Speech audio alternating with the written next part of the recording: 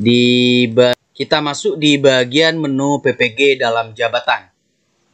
Maka akan tampil seperti ini. Nah, di sini ini untuk pengajuan yang pertama kali ya dilakukan oleh seorang guru ya. Pendaftaran calon peserta sertifikasi guru dalam jabatan tahun 2023 telah dibuka mulai tanggal 10 Maret tahun 2023 sampai sampai dengan 21 Maret tahun 2023.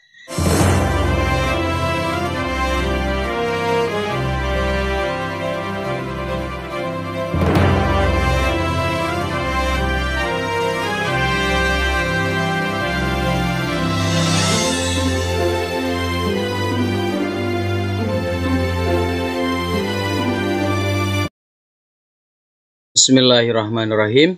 Assalamualaikum warahmatullahi wabarakatuh. Selamat datang di channel operator pendidikan official yang mana pada kesempatan kali ini saya akan membuat tutorial tentang pengajuan PPG ataupun tombol ajukan PPG untuk pertama kali ya. Namun sebelum masuk ke informasi dan tutorialnya, bagi teman-teman yang baru menemukan channel ini jangan lupa untuk menekan tombol subscribe-nya dan tanda loncengnya juga agar selalu mendapatkan notifikasi dari video yang akan saya upload selanjutnya. Dan untuk teman-teman yang sudah subscribe, terima kasih banyak. Semoga teman-teman dalam keadaan sehat walafiat. Amin amin ya robbal alamin. Oke, kita langsung masuk ya ke informasi dan tutorialnya. Kita langsung masuk di salah satu akun guru yang mana akun guru di sini akan saya daftarkan sebagai uh, ataupun saya akan daftarkan untuk pengajuan PPG ya. Kita langsung login ya. Kita langsung masuk di sini.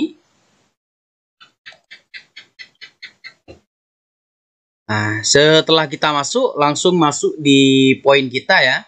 Langsung masuk di menu paling bawah ya. Di kita masuk di bagian menu PPG dalam jabatan. Maka akan tampil seperti ini. Nah, di sini ini untuk pengajuan yang pertama kali ya dilakukan oleh seorang guru ya. Pendaftaran calon peserta sertifikasi guru dalam jabatan tahun 2023 telah dibuka mulai tanggal 10 Maret tahun 2023 sampai sampai dengan 21 Maret tahun 2023. Di sini hanya ada satu tombol ya. Ini untuk pengajuan yang pertama kali ya. Kita klik menu ajukan tombol PPG. Di sini untuk kualifikasi dan tahun lulusnya akan tampil dengan sendirinya.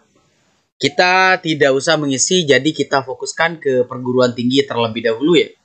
Kita mengisi perguruan tinggi. Di sini masukkan nama perguruan tingginya ya. Kebetulan di sini salah di salah satu kabupaten saya inputkan untuk kabupatennya saja. Nah, setelah itu pilih program studi. Di sini untuk program studinya yaitu pendidikan agama Islam. Setelah itu kita inputkan bagian ijazah ya. Kita inputkan untuk ijazahnya ya. Kita masuk di bagian filenya ya. Di sini untuk file yang dibutuhkan yaitu berbentuk PDF, JPEG dan untuk ukuran maksi, ukuran minimal 200 KB dan maksimal 1 MB. Di sini kita klik dan kita cari untuk ijazahnya ya. Nah, kebetulan untuk ijazahnya sudah saya siapkan di sini. Saya isi berbentuk PDF ya. Kita upload yang berbentuk PDF. Setelah itu di sini ada notifikasi benar dan lanjutkan. Setelah itu program studi lulusan yang diikuti guru tersebut, program studinya. Saya masukkan pendidikan ya. Pendidikan agama Islam. Setelah itu enter. Maka akan muncul di sini untuk pendidikan agama Islam yaitu jenjang PAI ya. Setelah itu mapel PBG yang diajukan. Jenjang PBG, jenjang PBG ketika untuk jenjang MI, pilih MI, MTS, MTS, MA dan MAK di sini ada semua ya. Kita pilih ya. Setelah itu mapel yang akan diajukan.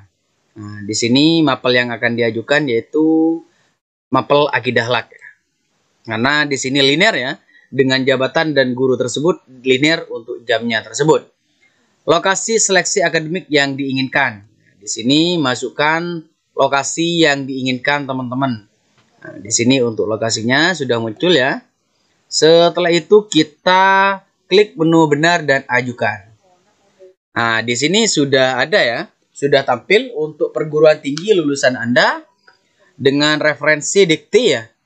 Terus untuk kampusnya ini, terus untuk program studi lulusan Anda, ref, uh, ref dikti ya, juga ada di sini.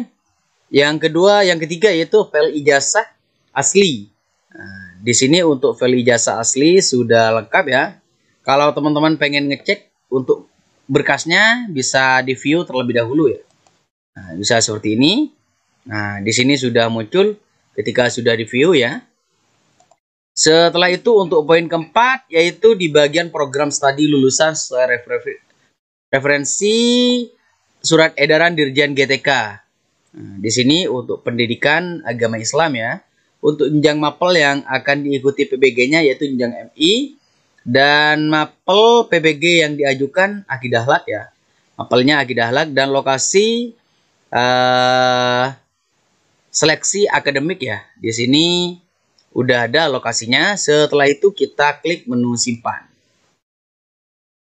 Maka akan muncul seperti ini. Kita lakukan proses cetak ajuannya. Setelah cetak ajuan akan muncul tanda bukti pengajuan calon peserta atau dengan dikenal dengan S37. Kepada yang terhormat, nah guru tersebut ya Eh, kepada yang terhormat di lembaga dan kabupaten dan provinsi, ajuan Anda mengikuti peserta program profesi guru tahun 2023 telah diajukan ke Kanwil Kabupaten Provinsi di kan Kemenak ya. Kanwil Kemenak Provinsi Jawa Timur. Dan di sini nama-nama guru tersebut, NPK-nya, jenjang pendidikan, ijazah yang dilampirkan ya. Dan untuk waktu pengajuan yaitu tanggal 19 Maret ya hari ini ya. Jamnya jam 23.22 ini untuk uh, tertanda tangani bukan tertanda tangani nah, di sini demikian surat tanda bukti ini dibuat untuk dipergunakan sebagaimana mestinya. Jika terjadi kendala Anda dapat menghubungi kami atau email at sport at siap striponline.com. Oke, kita langsung cetak ya. Kita input uh, kita oke okay saja. Mungkin untuk informasi dan tutorial kali ini saya akhiri ya. Bagi teman-teman yang baru menemukan channel ini, jangan lupa untuk menekan tombol subscribe-nya dan tanda loncengnya juga agar selalu mendapatkan notifikasi dari video yang akan saya upload selanjutnya. Dan untuk teman-teman yang sudah subscribe, terima kasih banyak. Semoga teman-teman dalam keadaan sehat walafiat. Amin amin ya rabbal alamin. Akhirnya dari saya wabillahi taufiqul hidayah waridhaul inayah. Wassalamualaikum warahmatullahi wabarakatuh. Sampai jumpa di video saya selanjutnya. Salam sejahtera, salam satu data, salam merdeka.